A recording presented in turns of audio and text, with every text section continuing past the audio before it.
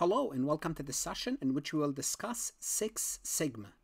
Six Sigma is a process improvement that was developed by a company called Motorola in the mid 80s, and the person that coined the concept or the father of this concept is Bill Smith. That's him, and he was working on pagers the defect rate for producing the those pagers was high and he decided to do something about this so it's a data driven approach to eliminate defects. That's what bill wanted to do. They were producing pagers and many of them were defective. Reduce variation and processes ultimately lead to what? Improved quality. That's the key and efficiency.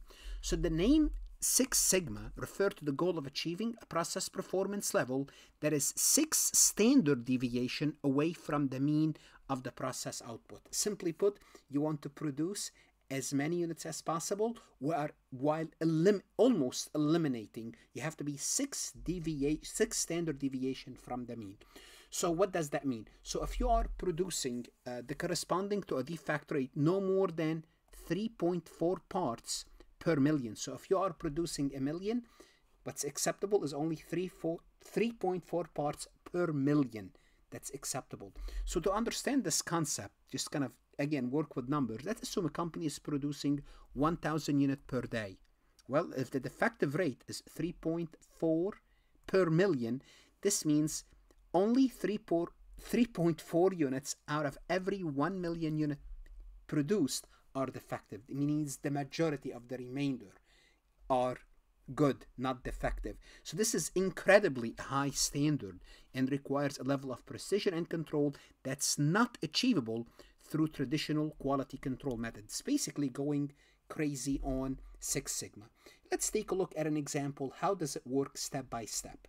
Before we proceed any further, I have a public announcement about my company, farhatlectures.com. Farhat Accounting Lectures is a supplemental educational tool that's going to help you with your CPA exam preparation as well as your accounting courses. My CPA material is aligned with your CPA review course such as Becker, Roger, Wiley, Gleim, Miles. My accounting courses are aligned with your accounting courses broken down by chapter and topics. My resources consist of lectures, multiple choice questions, true false questions, as well as exercises. Go ahead, start your free trial today, no obligation, no credit card required.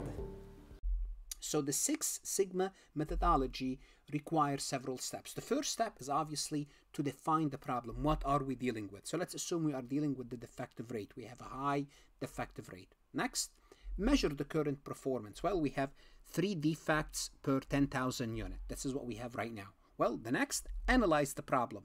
Analyze the data to identify the root causes. Why? Why are we having three defects per 10,000 unit? Well, let's assume we identified its machine calibration. The machines need to be calibrated better. Well, improve the process by implementing solution. Now we're going to calibrate the machine. Then we're going to go through a controlling process to ensure that the environment are sustained, making sure it's working, making sure that the defect defective rate went down, the defect rate went down. So you have to understand Six Sigma can be used in many industries, manufacturing, healthcare, finance, to improve processes, reduce costs, and enhance, enhance customer satisfaction.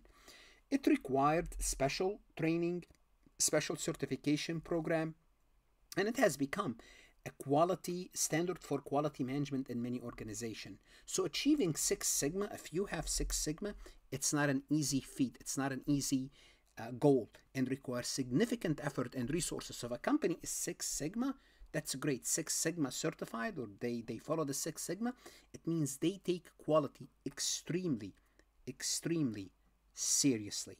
What should you do now? Go to Farhat Lectures, whether you are studying for your CPA, CMA, accounting students, or some other professional organization to learn more about these philosophies. Good luck, study hard, and of course, stay safe.